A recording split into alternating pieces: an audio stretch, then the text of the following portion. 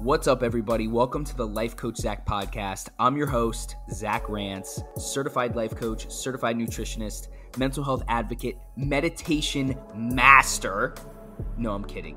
But seriously, though, thanks so much for stopping by. I like to bring guests on here that are leaders in their chosen field, whether it's a doctor or nutritionist, or maybe just another life coach or spirituality coach. And I'm just grateful for the opportunity that I can share it with you guys. I hope you enjoy. A lot of fucking good things. really? Tell me. It's really exciting. Um, I, I, I mean, are we just jumping in? Uh, we can just jump right in if you want. Yeah. I think you should because I think that it's part of like it's exactly what you talk about. you yeah. know, I'm not like, you know, I'm having a great hair day. Fuck that shit. That's, you know, old. I'm having a good me day. yes, I love it. So yeah. tell me all the good things that are going on right now. Oh my God, Zach. I remember remember when we first met like uh two years ago, right? It mm-hmm. was in it at the finale party. Yeah, and really, we, the very very first time we met was the pool. Mm-hmm.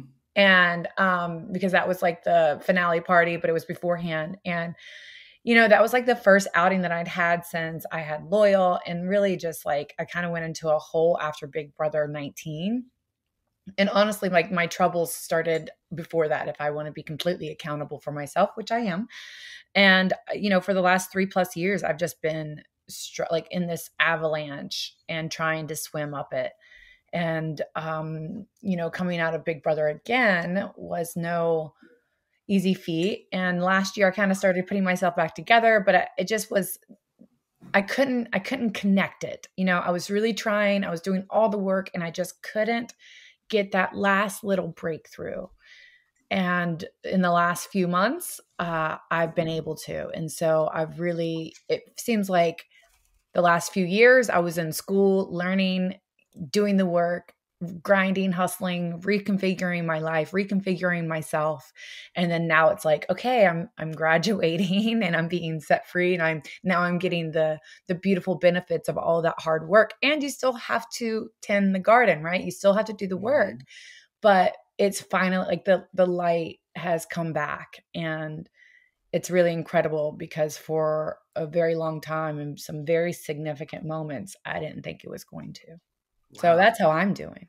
How you wow. doing?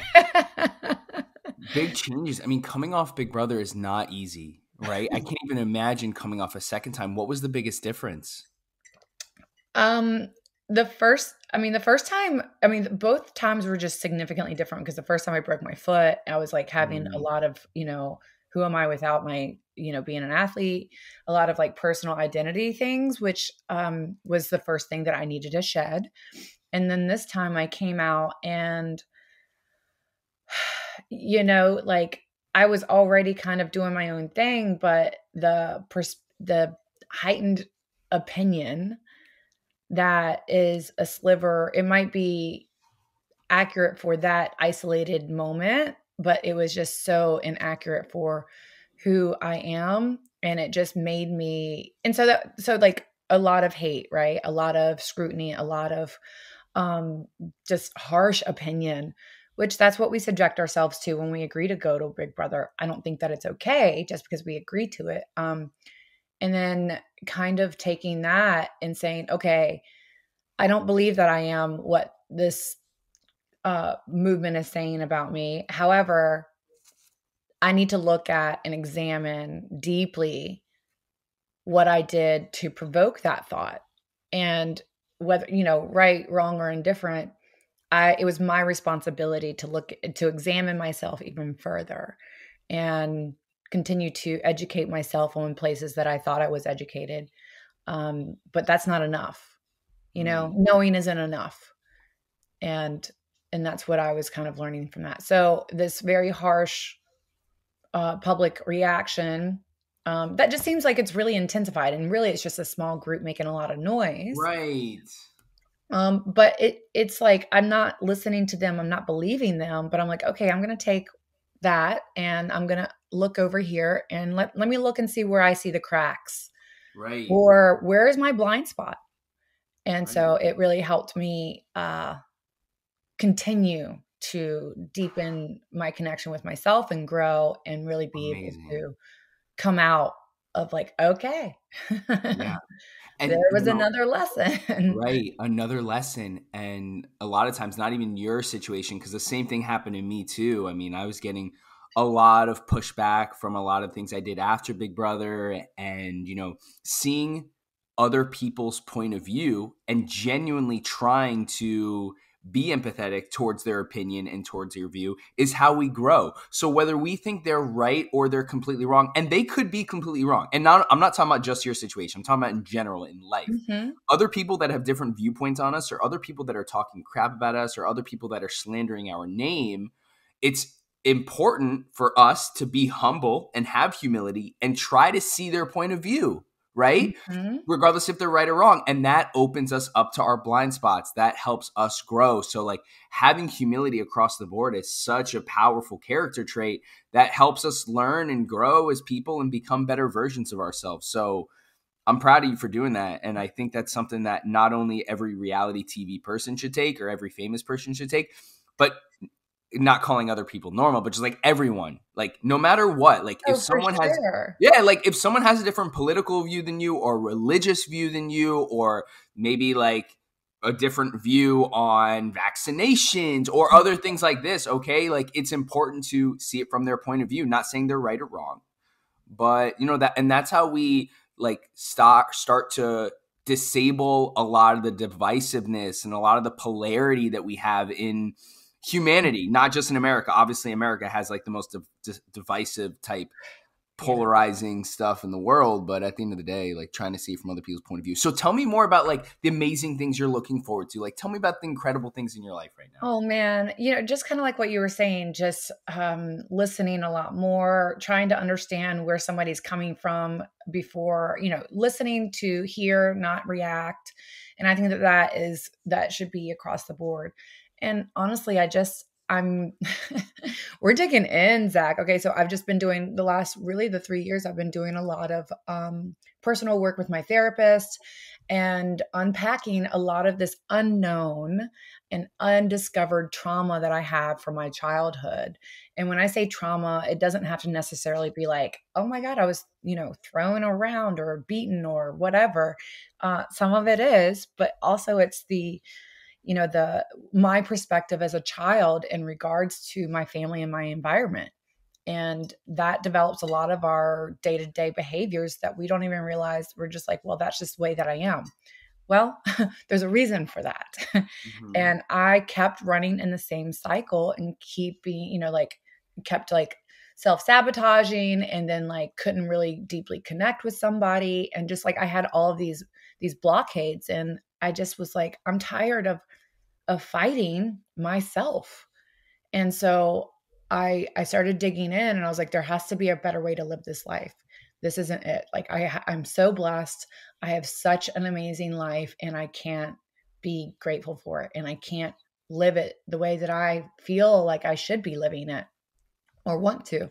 So I just started digging in, um, you know, like on my personality uh, flaws that I I believe were flaws or or like my challenges and man, you know, like just because you read it doesn't mean you learn it and just because you learn it doesn't mean you apply it. And so it's just been a really big long journey for me mm-hmm. and what it felt like upstream for a long time. And now like honestly Zach, everything that I've been praying for, everything that I've been working towards, everything that I have imagined and manifested and wrote down is literally falling into place. And I have to contribute that to, you know, God and then the the last few years of this really very hard journey that had to build to the lesson and then also have to deepen my gratitude. you mm-hmm. know, in order to be able to really receive it completely. Love that. What do you yeah. think were some of the action steps that you took to manifest all these goals and dreams?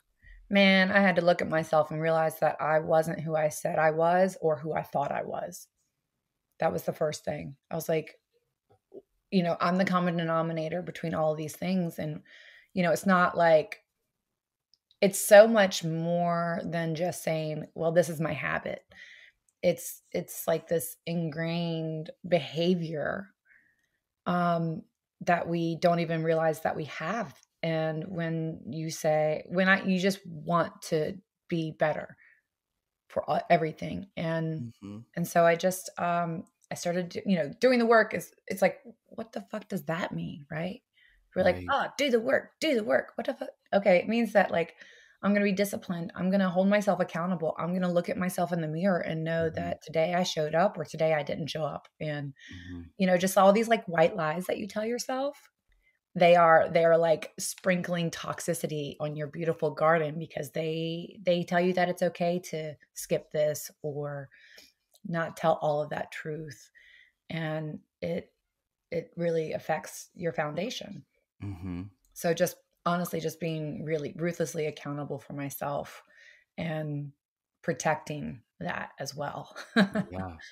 Ruthlessly accountable. I love that I was like, you know, I, I was thinking about all the things that you just mentioned about looking at yourself in the mirror and all those white lies you tell ourselves. And I love how you, the metaphor you said about sprinkling toxic toxicity into our beautiful garden. You know, the most important of that thing about that and the foundation for that is being honest with ourselves. Mm-hmm. You know, like it's a, not saying it's okay to tell white lies, but like you know what you tell other people about what you do with your life like your habits. Like you know i'm here telling people i meditate for 30 minutes a day. Like do i actually meditate for 30 minutes a day? Well yeah i do meditate for 30 minutes every single day. I tell everyone i, I read you know 50 books a year. Do i actually read 50 books a year? Yeah i do for sure. And there are a lot of times where you know i am lying to myself. You know i don't lie to other people. I don't lie to instagram and things like that. But sometimes i lie to myself like yeah it's okay if i skip this workout or yeah it's okay if i you know don't follow up on my commitments today right? But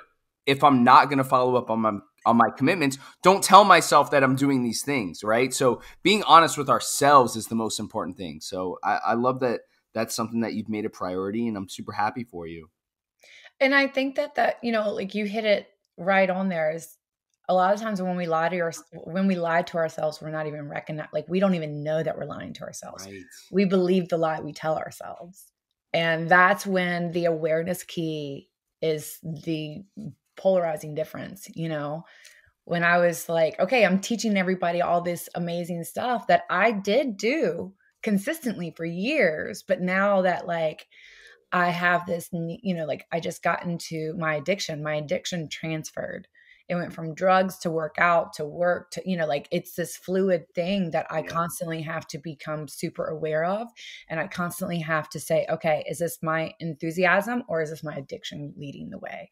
Right. And, you know, a, a lot of times, you know, whether it's your addiction or your ego or whatever it may be that gives you those lies that you believe instantly but if you sit there and you think about it and you're like, okay, wait a minute, if you if you just stop and check in with yourself, then you don't allow that ignorance or that unawareness to continue. And that's when that's when it's hard for people when they're like, but I don't want to believe what's really happening versus what I want to believe what's happening. Mm-hmm. what I'm telling myself.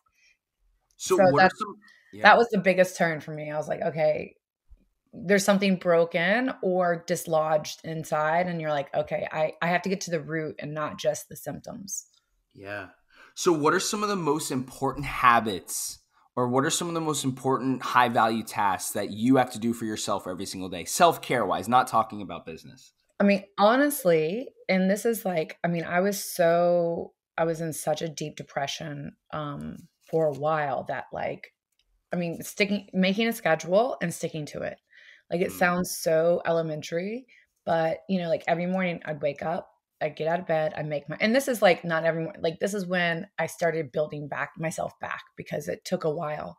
Um, for me, having a day-to-day schedule, knowing what I'm gonna be doing, um, time blocking my tasks, uh, which include personal self-care and you know from four to eight I have my son every day. I don't do any work. I don't answer work calls. Um, it's me and him, or me, him, and his grandma, and his dad comes over, and we have dinner, and like it's just like my family time. It's undisrupted, and that is, uh, and I don't care who you are. I'm not taking a call during that time, mm. and it helps. Like I know, and so what I'm doing for him is he knows that he's a priority and that he has my undivided attention. Um, the other thing too is just, you know, my my routine, my morning routine sets my day. I wake up, you know, I I wash my face, I brush my teeth, I have a little snack, I get my stuff ready. It's like a it's a ritual for me, right? I go work out, which skyrockets my, my energy and my hormones for the day. And then I come back and I sit down, I eat lunch, and then I work. And before it used to be like I rolled out and would just start working right away.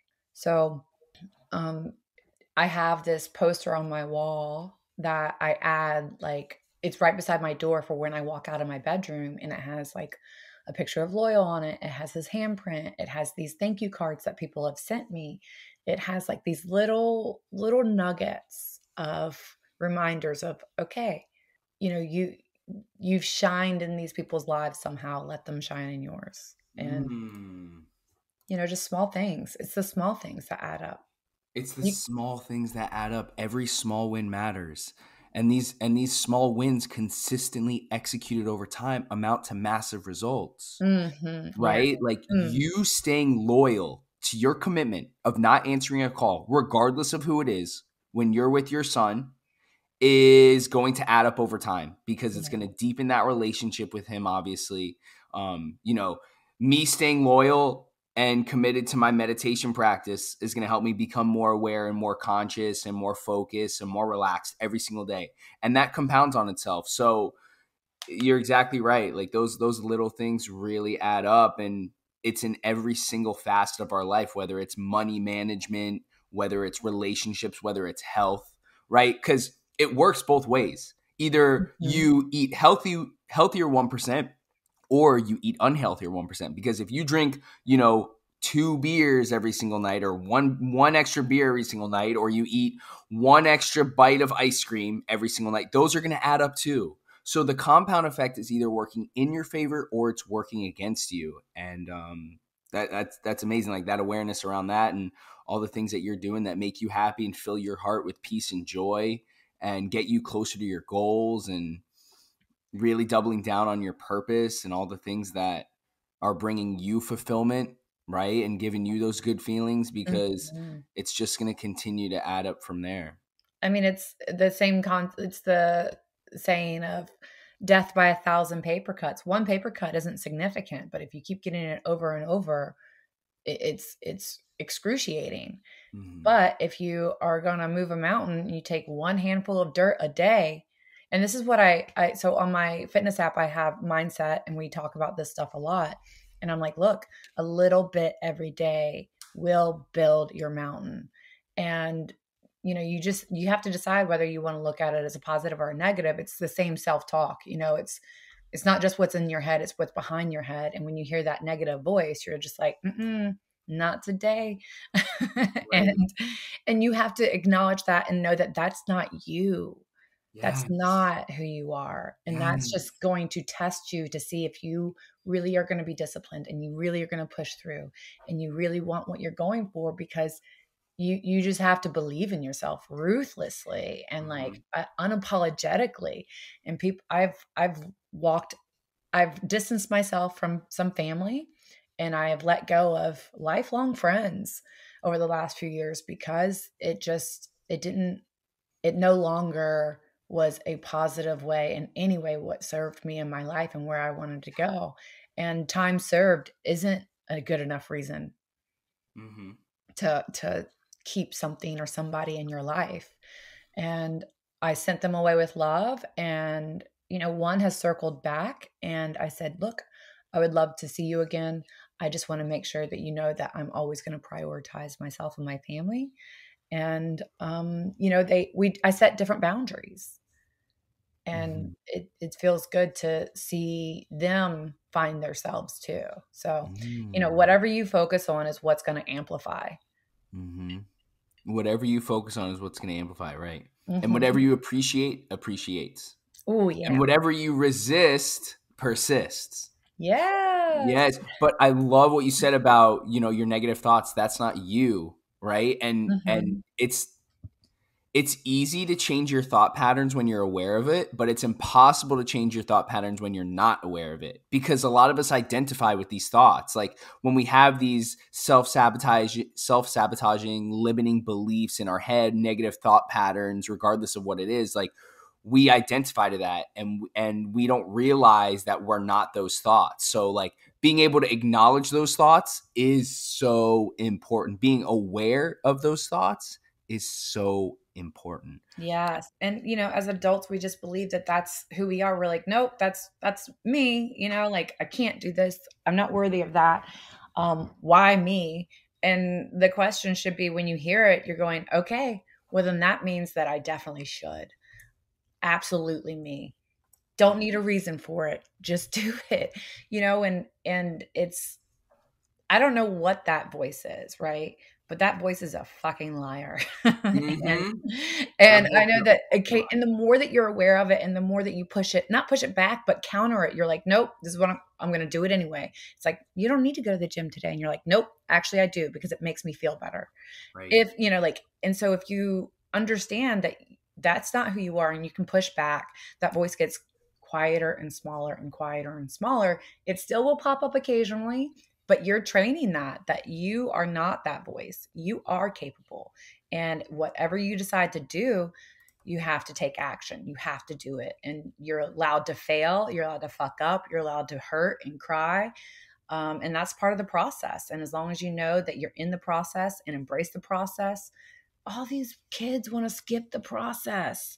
Mm-hmm. um, but you can you can definitely train that voice to be your your freaking biggest rock you know um cheerleader too. Yep your biggest cheerleader and your biggest ally. Everyone wants to skip the process because we live in such a instant gratification world. Everything is so easily accessible, whether it's one click on Amazon to buy anything you want, or you know, obviously TikTok videos, like you just watch it right immediately. You don't have to mail order brides, everything, right? so, and and you talk about the process, you talk about the journey, right? When you get to the top of the mountain and you accomplish your journey or you cross that finish line, there's always going to be another mountain to climb and realizing that we're never going to be completely satisfied, which you know you would think is a bad thing, but it's really a good thing because it helps you embrace and fall in love with the challenges. Yeah. And really appreciate the journey and the climb up the mountain, right? And it also helps us be more present because, yes. you know, when I'm 80 years old and I'm worth, you know, 20 billion dollars, I'm going to look back. Get it, boy. Oh yeah, at least. When I look back and I say, "Damn, Zach, I wish I was, you know, 30 years old again, like recording podcasts from my living room, going to the beach and training for Ironman competitions. Like, I was so much happier with X amount in my bank account than being worth $20 billion, you know? So, keeping that in perspective is is super important. So, let, that's great advice for anyone that's listening, man. Just like really, really fall in love with the journey, embrace the challenges, and appreciate the process. You know, that's like, that's literally why I've been able to do all the things that I've been able to do is because I have discovered it in my journey. And something, you know, when I found CrossFit, when I found uh, Olympic lifting competitions, when I found competing at all, when I started to do business, these things just like sparked something in me that like I was like, ooh, I have no idea what I'm doing, but it makes me kind of tickled. And I'm so intrigued and so interested that I and I just followed my spirit. I didn't know that like I was really doing exactly what I should be doing. People like, "How did you do all this stuff?" I'm like, "I just said yes when everybody else said no, and I I said yes to what I loved to." And I didn't know that I loved it. I just had a, a crazy interest in it. And like recently, my life has changed significantly because I just um, partnered up with this company that I had no idea about, and I tried their product, and I was like, "This is amazing." I left a sponsor for this company, and I'm having the best time of my freaking life and it it literally is changing my life because of how I feel. And this has been a big change in me in the last month. Um, it just it, it was right. Everything's fallen into place, and I because I've just been like, okay, I'm listening to my spirit again. And when my spirit says, "Ooh, this is fun," it makes me feel good. Spirit, not ego. And that's when I know that I'm on the right path. And I don't know, you know, it's like, I don't know how this is going to work. I don't know how, you know, like I'm going to figure it out somehow, but I don't have to figure it out before I do it. I jump in and that experience, you know, learning and growing and starting and then evolving is what makes you you. Mm-hmm. And it what makes you become an expert and it what makes you find the next thing that's going to tickle your soul. But if you're sitting there waiting in your living room to find your passion, you have failed mm-hmm. because you haven't tried. And I tell people, I'm like, there's no such thing as failure unless you quit. Mm-hmm. And everything else, as long as you learn a lesson or it shows you something, is successful failures. And I will gladly fail every freaking day if I love what I'm doing. Well, that's such good advice. I, because I've done the exact same thing. I failed so many times. So many projects I've tried since Big Brother have failed, which is okay because it led me to where I'm at right now. And the only reason why I'm super happy and proud of everything I've accomplished today is because of all my failures in the past. And I wouldn't have been here today if it wasn't for those failures. So that is just incredible advice, you guys. If you are, and finding your passion isn't more so finding your passion. It's finding out what you're not passionate about, right? Like trial and error, figuring out what you don't like gets you closer to what you do like. And like you said, as long as you never fail or as long as you never give up, it's impossible to fail. And Christmas, I know you're super tight on time. I want to thank you for taking the time out of your busy schedule to hop on the Life Coach Zach podcast. Say this was an incredible conversation, and I'm just really happy for you, and I'm proud of you for all the progress and growth and humility that you show. And I know it's going to inspire a lot, a lot of the audience and the listeners today. Everyone, I'm sure you guys all know who Christmas is. I'm sure you all already follow her on Instagram, but shoot her a message on Instagram or Twitter. Let her know that you enjoyed the podcast or you didn't enjoy the podcast. Um, Christmas, thank you so much for everything. I really do appreciate you you coming on today. Oh my gosh, Zach, I I love what you're doing with this, and I think that you know you took such a traumatic situation and experience and you're making it a, a place of hope and love for people that you know are, are struggling and this is really really beautiful and i feel like you've really hit um, something that can speak to people so thank, thank you. you for including me on this. Appreciate it, Christmas. Have a wonderful day, and I look forward to linking up again soon. You too, Zach. Bye.